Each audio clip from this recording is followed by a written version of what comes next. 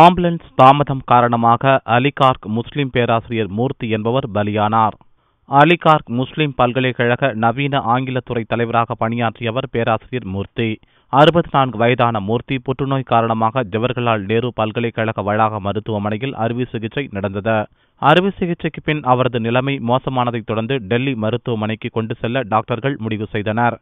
அவர் அபாய கட்டத்தில் இருந்ததால் தகுந்த உபகரணங்களுடன் கூடிய ஆம்புலன்ஸை வரவழைக்க டாக்டர்கள் முடிவு செய்தனர். இதற்கு ஏற்பாடு செய்ய ஆறு மணி நேரத்திற்கு மேல் தாமதமானது. இதனால் மூர்த்தி மரணமடைந்தார். ஆயிரத்தி தொள்ளாயிரத்தி ஐம்பத்தி இரண்டாம் ஆண்டு தமிழகத்தின் வேலூர் மாவட்டத்தில் பிறந்த மூர்த்தி தஞ்சை பல்கலைக்கழகம் போலந்து வார்சா பல்கலைக்கழகம் ஆகியவற்றில் பணியாற்றி அதைத் தொடர்ந்து அலிகார்க் முஸ்லிம் பல்கலைக்கழகத்தில் நவீன ஆங்கிலத்துறை தலைவராக பணியாற்றி வந்தார்.